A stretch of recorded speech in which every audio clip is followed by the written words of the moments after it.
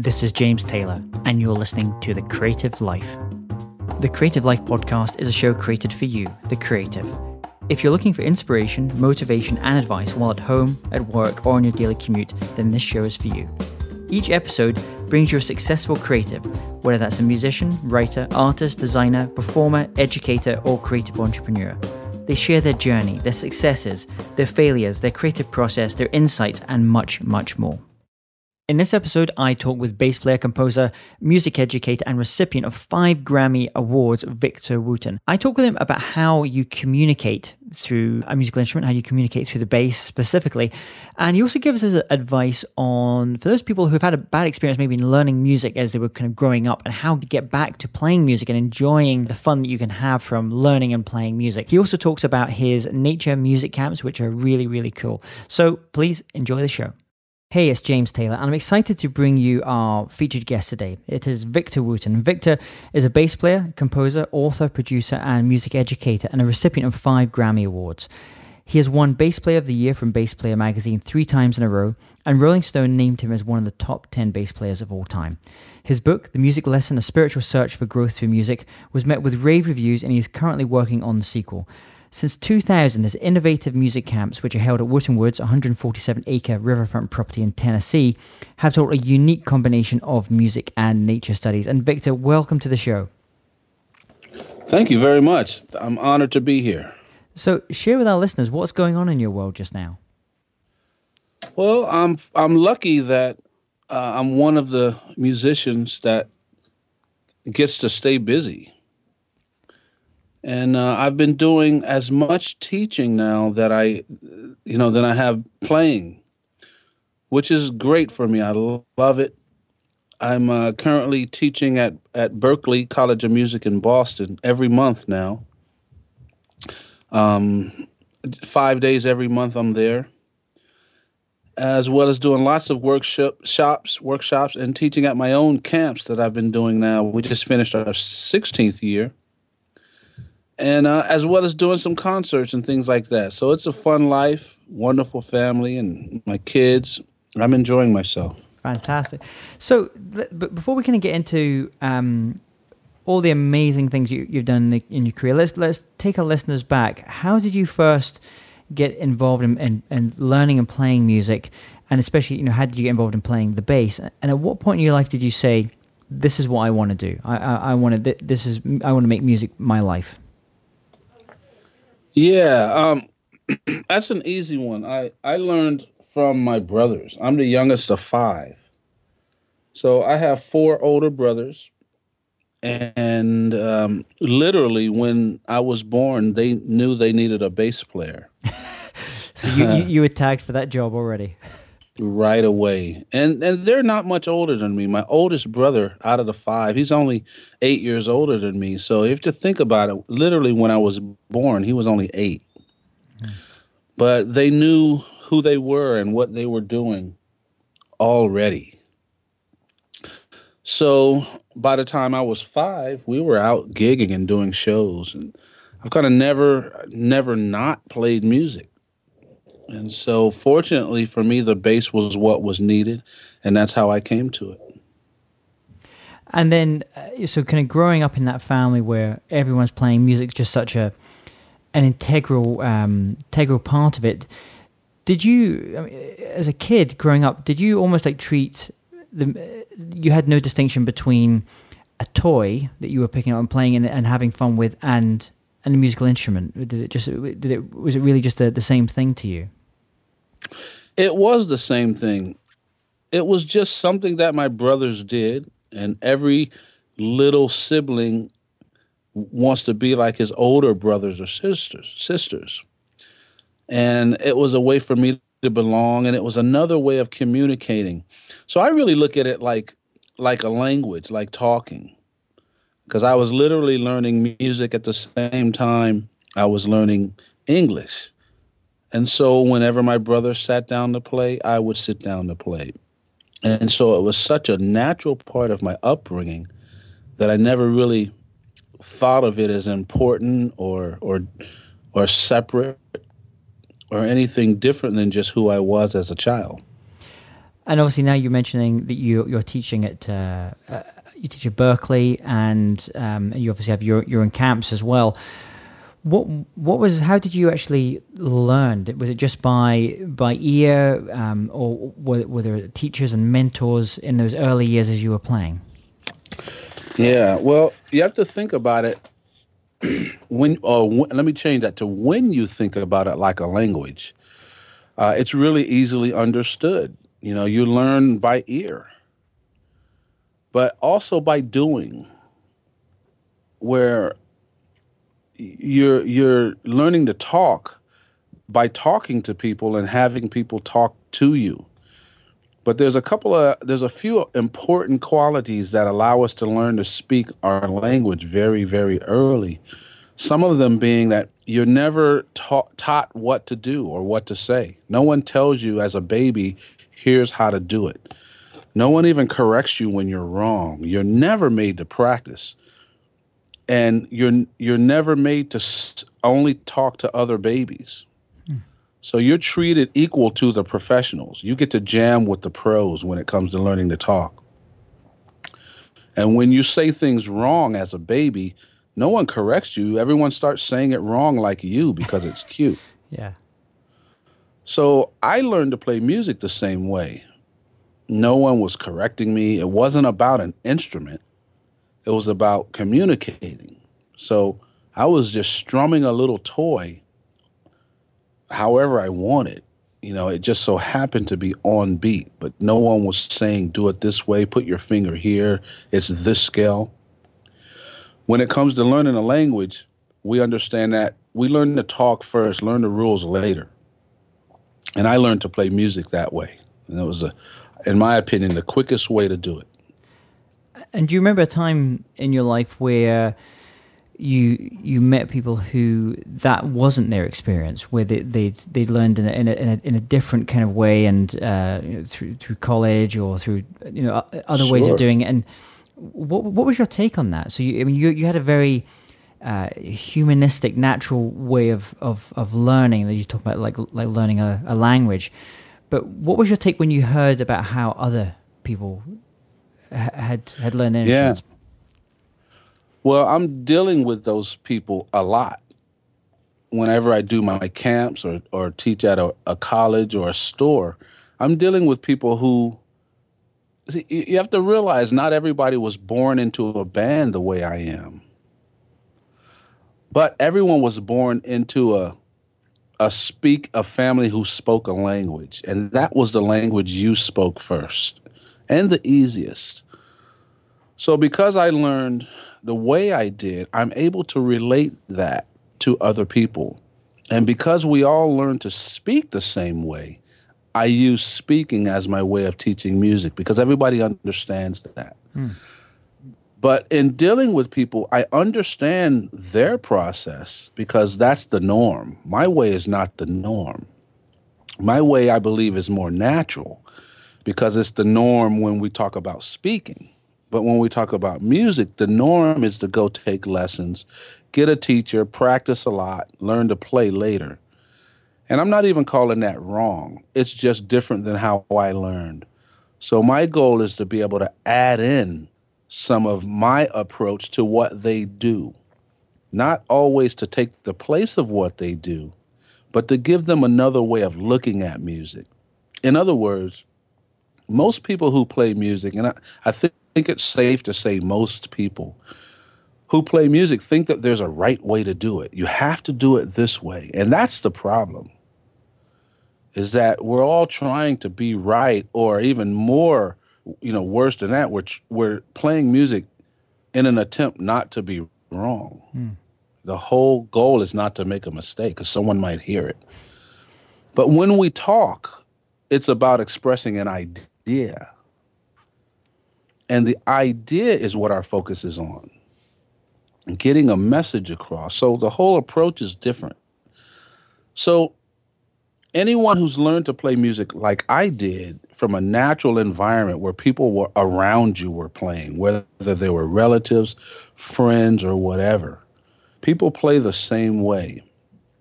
You know, you have an idea, you have a feeling you want to get across, whether it's making people dance or just approaching this overall song. And then we all realize that, wow, we can describe this song or talk about this song, you know, any way we choose. You know, if, in the bluegrass world, they're still learning this way, sitting under a tree, learning fiddle tunes from an elder. You know, and nobody has to play it exactly like the elder. You're describing that song however you choose. So, having been teaching now for a long time, uh, I'm able to come up with different ways of getting people to understand my approach. But it starts with me first understanding theirs, and I feel like I really do. And what would you say as as a music artist and as a creative person are your your kind of greatest strengths, but also what would you say is is your your, your biggest weakness? As a musician, as a musician, teacher? a musician, teacher, or, you know, as or creative person. Well, I, I, those I think those strengths and and goals and things change. I know they do for me, or they have for me as I've gotten older. My main goal now is to help people uh, reclaim their musical freedom. You know, in other words, like when you sing in the shower, you're not singing to be right. You're not afraid of what other people think. That doesn't even enter your mind. You're just singing because it feels good. And you're almost unconscious, not even thinking about it.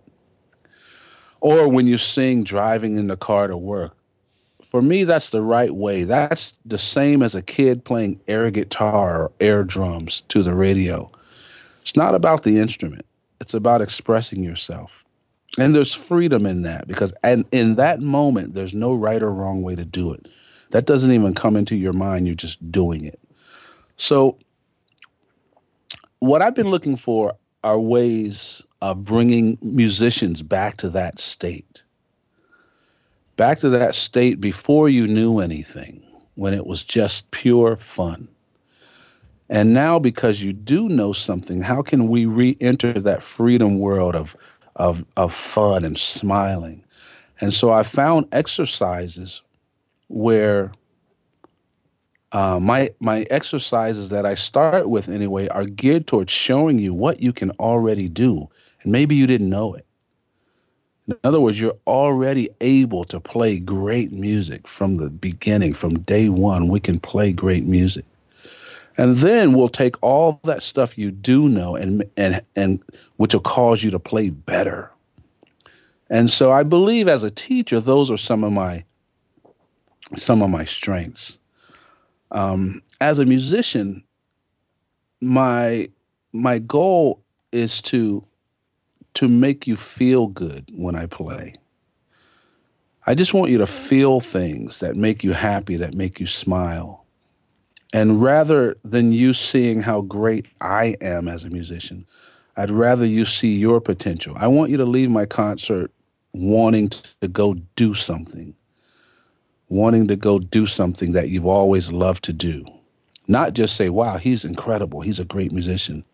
I want you to re- to realize your joy, your gifts, even if you have to use me as your example. That sounds kind of egotistical, but that's what I want. You know, if you can't see it in yourself, then see it in me until you can see it in yourself. And you mentioned this, you know, this kind of reclaiming your your musical freedom. I think was the, the expression yeah. you used. So.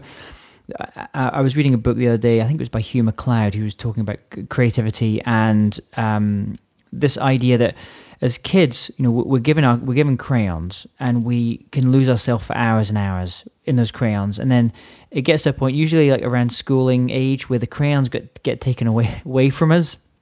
We go into this kind of formal teaching uh, land, and then it was interesting because he was talking about this often at points in our lives um, around big events. So you know, big birthdays, usually birthdays ending with zeros, um, or big life events where you lose someone.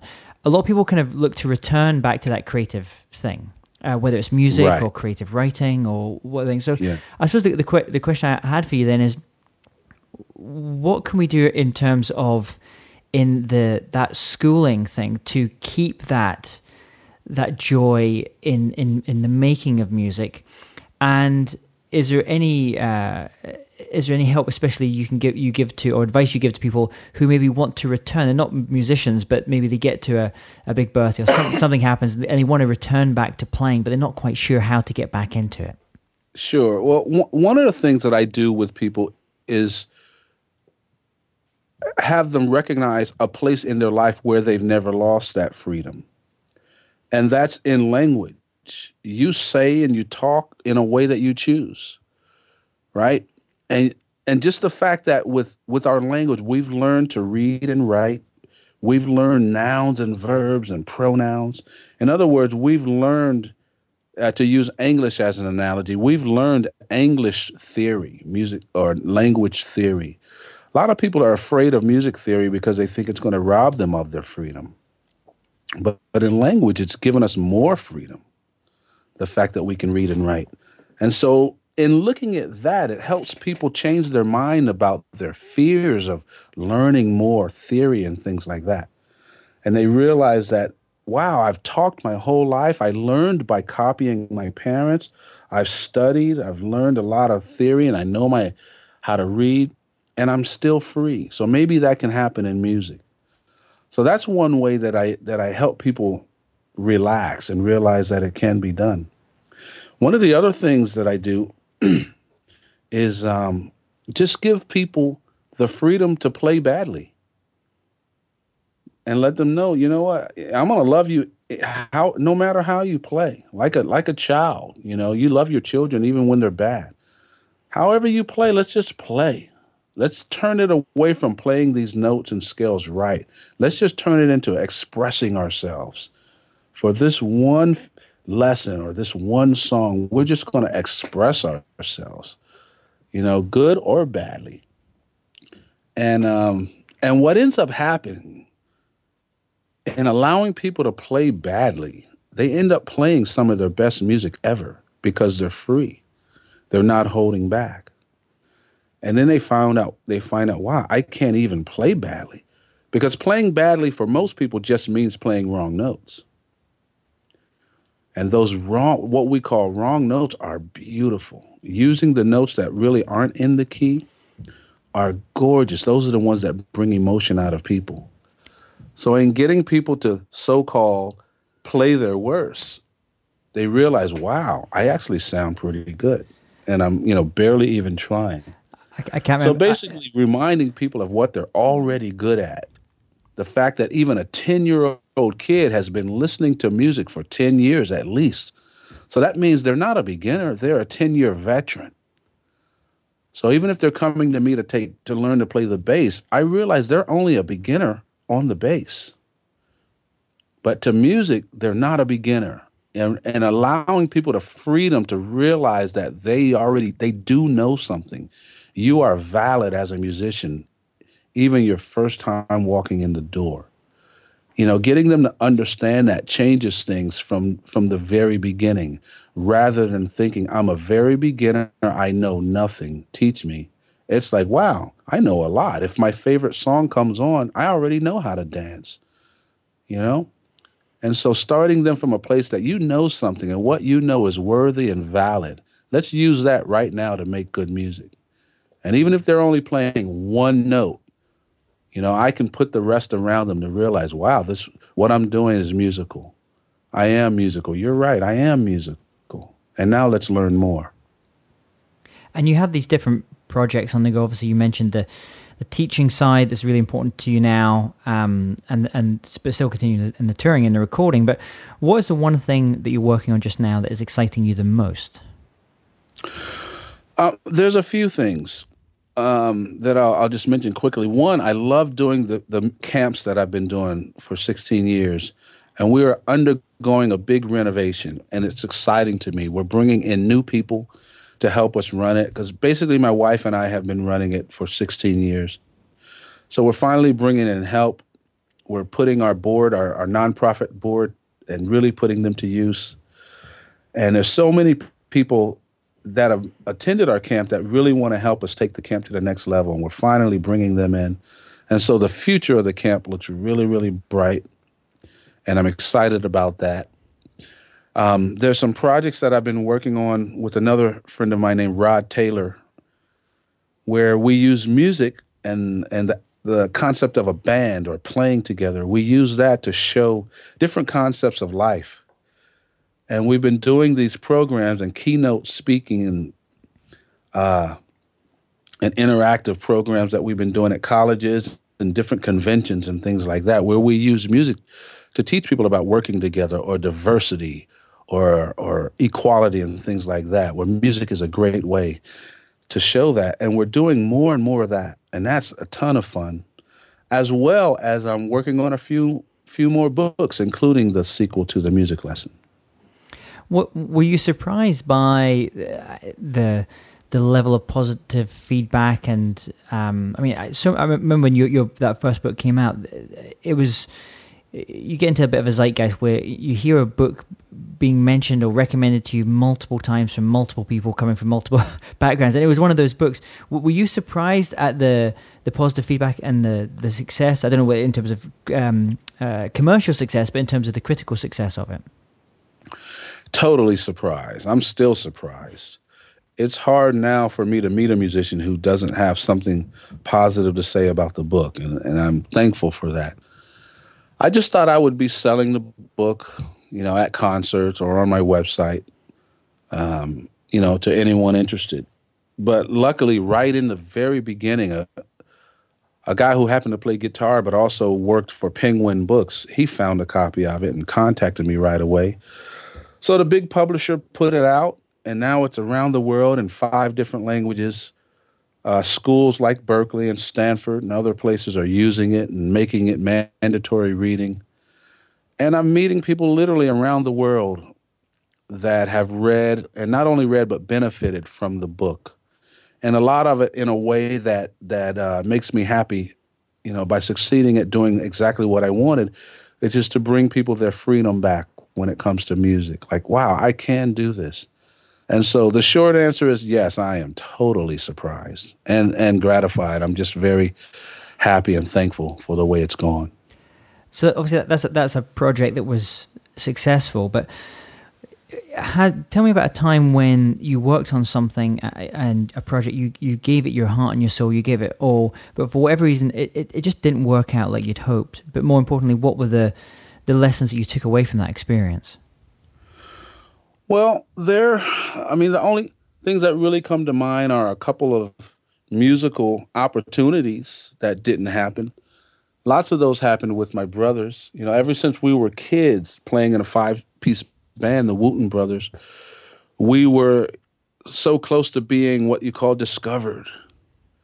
You know, starting back to when I was six years old, the first time, great soul singer Curtis Mayfield was going to discover the Wooten Brothers, you know.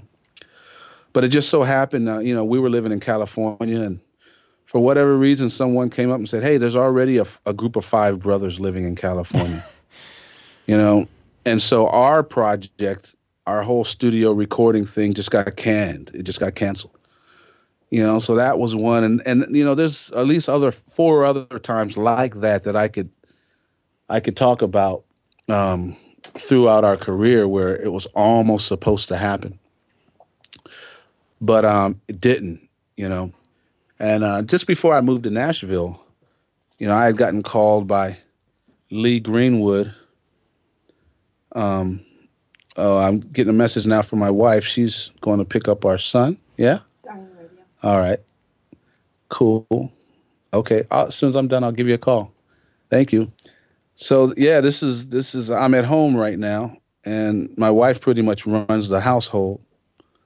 So she's just passing me a note that she's um, going to pick up pick up our son for gymnastics. Not exactly, but Yeah. when we- when we can. Um, but um, when uh, be, just before I was moving to Nashville, I uh, you know got a call from a country big time country artist Lee Greenwood. You know he had he had heard about me and heard me his guitar his guitars had heard me play and and at the time I wasn't doing much playing. And our five brothers we weren't playing together much. And that was because of a bad record deal that we had uh, were involved in with a big time producer on Arista Records finally going to make it. And it fell through and but all of a sudden I'm going to come to Nashville and play with this country artist, and you know, and then all of a sudden I never heard from the country artist again. You know, so you know, being in being in life in general, things go up and down. That's what makes life what it is. But as a young kid, I learned how to deal with things like that, and realize that you know those things don't have to stop you but there's always a, a, you know a jewel or a gem or something that you can learn from it and i just learned how to keep going. It doesn't mean you don't, don't feel bad about it. Um, you know it doesn't mean that you have wishes and you wish things had turned out differently but it does make you stronger and you keep going. And in hindsight i realize that every situation caused me to be a better person and a better human being. Um, so those are the few things that come to mind. And what about any in this this fascinating this journey that you've had in music? Any aha ideas or light bulb moments or, or moments of insight where you've you, you said to yourself, okay, uh, Victor, this this is what I need to be doing. This is a path I need to be going. This is a decision I, I need to make, and I'm going to make this decision. Can you talk to about any of those aha ideas or light bulb moments in your life?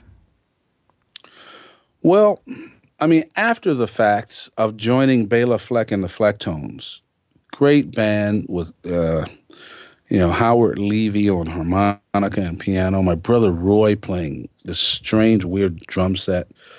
But Bela Fleck, you know, the mastermind of it all on banjo, incredible musician. I never realized that, you know, my claim to fame in the music world was going to come by playing with a banjo player. I thought it was going to be with my four older brothers. Yeah. But looking back on it now, I realize I'm a much better musician because of it. I had never played with anyone except my brothers. And sort of like when you finally get to move out of the house and see the rest of the world, you become a fuller human being. I became a fuller, more complete musician by playing many, many years uh, with other people, um, especially Bela Fleck and the Flecktones. And did when you when Bela asked you about joining the group, um, was there a point where you said you actually thought maybe I'm, I'm going to say no to this this opportunity? Well, yes, um, but at first it was supposed to be one show. We got together to do one television show. Then we were supposed to all go our separate ways. Um, and then, you know, a, a, year or so later, Bela said, hey, let's do a little tour. And that tour was supposed to be four shows. And then all of a sudden it's another tour. And all of a sudden now there's a record label and Warner Brothers wants to sign us. And at that point, we're, you know, my brother and I were talking to each other. Wow, this is like a real thing. Do we really want to commit to this? And there were questions to be answered. Fortunately, in the end, we said, yeah, let's do it and uh, and it's turned into a good thing. And obviously, you're now giving advice to the the next generation of of musicians. But what's the the best advice that you've ever received in music? Wow, the best advice probably came from our parents. And wow a, a, lot of them are rolling through our heads right my head right now. Just think about all the things that my mom and dad would say to us. And uh, one of the things that they taught us was that whether you have a an audition or you're playing a, a basketball game or football game or whatever, or, or you're looking for a job, she said the only thing you can the my mom would say the, the thing that you're in control of is is whether you're worthy of the job, whether you're worthy of of uh, getting chosen, whether you're worthy of winning the game or not. Um, whether you get the job, whether you're hired, whether you're chosen is not up to you. That's up to someone else. And so it really made us uh, really pay attention to to to our ability. Um, another thing that my mom my mom I can remember her, her saying to us boys is it that's how she exactly said. She said, "The world. What what does the world need with just another good musician?" She says, "We have plenty." She says, "What the world needs is good people." And so she really had us boys pay attention to who we were as people. That was my parents' main concern. Who are you as a person, as a human? And she realized if she could direct us into being good people, that whatever we chose to do, we would be successful at. And with your your uh, music nature camps, we just kind of talk about that because what was what was the, the kernel of that idea? Where did that kind of the idea come from, um, and how how has it evolved over time?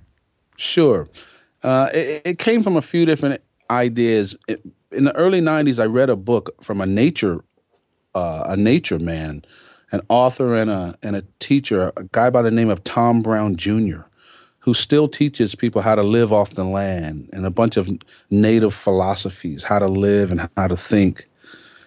Um, and I read that book and I said, I've got to go study with this man. And when I went and started taking classes with him, I told myself, I said, this guy's teaching music. He calls it nature and awareness and all that, but he's teaching music.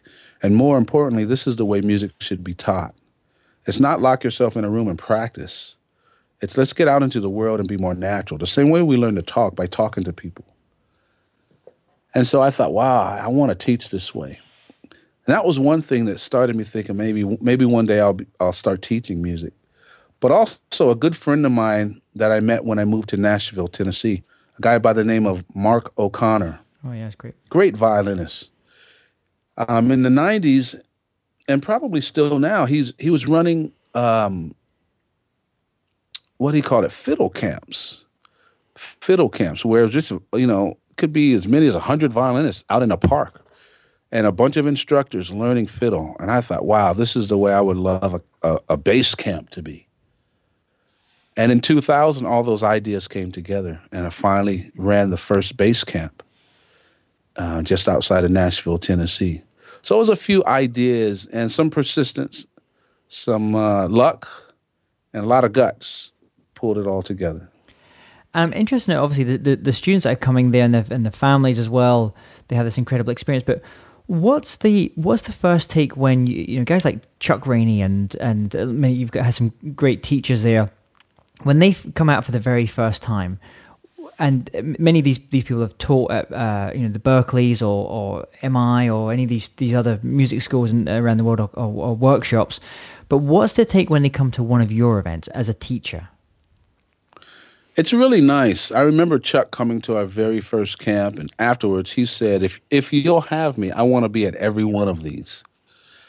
And uh, and he has been, even through his stroke. Mm. You know, he was able to still make it to a camp. But the cool thing I like about it is that people, even people who are successful in their own right, either either they're out there selling records, touring, or teaching, when they come as a guest to our camp, they really like our approach they like the setting and they get a lot out of it themselves.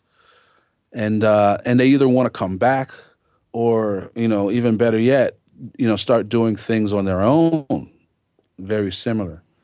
So we've been lucky. I'm very lucky to have a lot of great friends who are willing to take the chance and come and teach for us and things like that and uh, but but and every time you know i think both parties benefit from it. Either they want to donate something to our camp or sometimes they won't even take their pay because you know they know that we're working on a shoestring budget and they want to put their pay back into the the camp and we love that. So you know we're very thankful for every guest instructor as well as every student that comes because we've gotten a lot of help from our students. But um the camp what it does it provides a safe a safe place for, for people to just totally let down their guard and be who they are. And then you know at the camp we find out that everyone that shows up there is a good person. Whether anyone else ever, ever told you that you know the good person comes out as well as the good musician. I think people find out that they're better than they thought they were because there's safety there and people find out wow i don't have to compete with the next guy I can just be who I am, including all the mistakes. And I think teachers and students find that out a lot. The best part of it all, I think, besides getting to share this with students, is us teachers that have been teaching there for 16 years, we get to do it, you know, monthly. And so we grow a lot and and we learn from our students as well as our guest instructors. So it's a it's a, just a wonderful place to be to be and a wonderful thing to be a part of. And uh, just as we start to kind of wrap up here as well, if there's one record and one book that you could suggest to our listeners that they should check out, um, either it could be obviously the book could be about music. It doesn't have to be though. It could be about uh, some of the other things that you, you were kind of pulling upon. You were talking about there. What would that record in that book be? Yeah, you know, I, I I don't have one because everybody's different, and I don't know that there's one record or one book that would work for everyone. The thing that I like to do as a teacher is I like to find out a little bit about the person, about the student and then recommend it from there. You know, one of my favorite bass players is Stanley Clarke. He's always been my hero growing up. But if I get a student that's a that's in the that's in really into bluegrass, I wouldn't recommend Stanley Clarke to him. Missy Raines. You know. I'd, I'd go towards Roy Huskey Jr. or or you know or or someone like that, or you know different different players like that that may relate to that person. And then eventually we would expand outside of that. You know? So it's hard for me to find one, even as a person. You know, someone might say, well, the Bible. Then you will say, well, which Bible are we talking about? You know, what if this person is a different religion? Are you going to recommend that? You know, I, I, you know, my main thing is that you can find truth and beauty in anything, whether it's a flower, uh, any book, or anything. So, you know, I'd, I'd like to find out about the person. I mean, I, I can name a lot of great records, good musical records of all kinds of different styles. You know, from jazz to fusion to R&B to listening to Motown to listening to the Beatles or James Brown. There's great music all around, and there's always something to learn. So instead of uh, recommending one thing, I would say listen to everything Listen to as much as possible. The world is huge. The world is big. And now with the internet, we have access to it all. So why just choose one? I say listen to it all. And that's the way you're going to help. It's going to, that's what's going to help you to find who you are. By listening to it all, you'll find something that makes your heart sing. And then you lean towards that, but you don't exclude all the other stuff because we want to grow. We want to grow past just our preferences. So in choosing one, I'm going to go to opposite and I'm going to say listen to everything. So final question. Let's imagine if you woke up tomorrow morning and had to start from scratch. So you have obviously your bass, you have your the skills and the knowledge that you've acquired over these years in music, but you have no contacts, you, you know no one. What would you do? How would you restart things? To to restart my musical career? Yeah, to restart your musical career. And the reason I ask this question is because a lot of our listeners who are maybe at that stage in their life where they're 17, 18, wanting to embark on this on this journey as, as a as a professional player, and and I, am I'm, I'm sometimes a little bit concerned that they they look at artists they admire and they think to set off from where that person set off 20 years ago or 30 years ago, where maybe things were very different. So the reason I ask the question now is knowing what you know now, how would you begin that journey? Sure. Uh, well, that that is a broad question, and I would go my parents' route, and um, for me, I would re-evaluate what I think about myself. Uh, our parents taught us how to equate everything we do to how and, and see how it affects anyone else. In other words, let's say I want to be famous, but what does that do for the rest of the world? Or does it just make me a lot of money? You know, so I would look at my motives, look at my reasoning, find out who I re reevaluate who I am and what do I have to offer the world. You know, because being famous, anybody can get famous. Just go try to rob a bank. You don't you don't even have to be successful. You'll become famous. Being famous is not enough. Uh, making it is easy. Just depends on what you call making it. But knowing who you are and becoming a value to the world, um, that's a lifetime journey. And I would start there, re- realizing who I am. What do I have to offer the world? If I just want to get my talent out there, there's no better way or easier way now with the internet. You know, I can push a button and be in touch with countries and people I'll never visit or never meet. Nowadays, the internet, YouTube, Facebook, that are that's your calling card. People are going there more than more than they're going to your website. You can make a video if it's good enough, if it's clever enough, and if it reaches people in the right way. You can make a video that will be that will go viral and people around the world will know it. I just urge you when you're going for that to make it something of value, not just something that's going to make you famous or benefit you.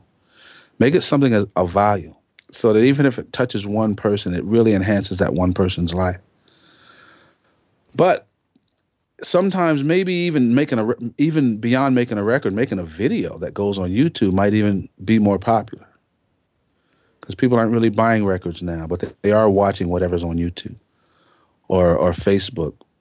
So make connections with people. Get out there and play live. That's your chance to touch people with your talent directly touch people with your talent. Get out there and play as much as possible live. If you're a musician, put a band together and, and become the hot shot band in your in your local uh, local town. You know, and then go from there. Make a video uh, of your band. Make a record if you can, but just really use the internet to its fullest to get yourself out there. And it can be done and people are all people are doing it all the time now. And there are people with much less talent that know how to use the system to get themselves out there. You know where a lot of us people with talent we're practicing all the time. And we're not even developing people skills or internet skills or or you know public relations skills. And i say learn it all.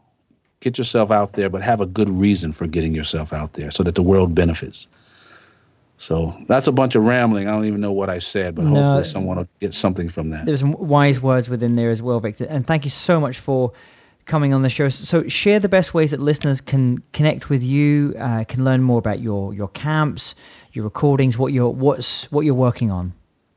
Sure, sure. Well, I'm on Facebook. Um, I have a, a Victor Wooten band page. You can text me there, message me there.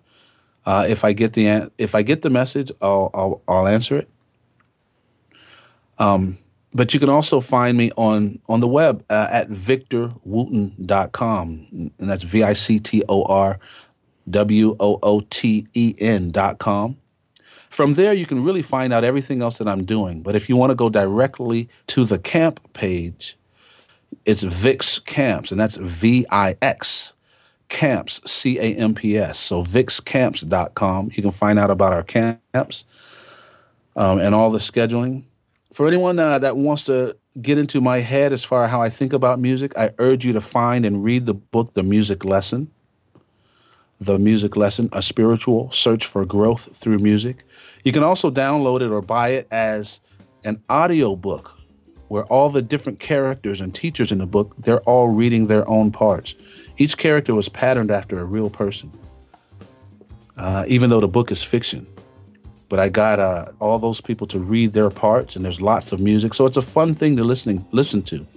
It's like listening to a movie. You know, so between the website, Facebook, you can find out where my concerts are, uh, and you can stay in touch with what I'm doing.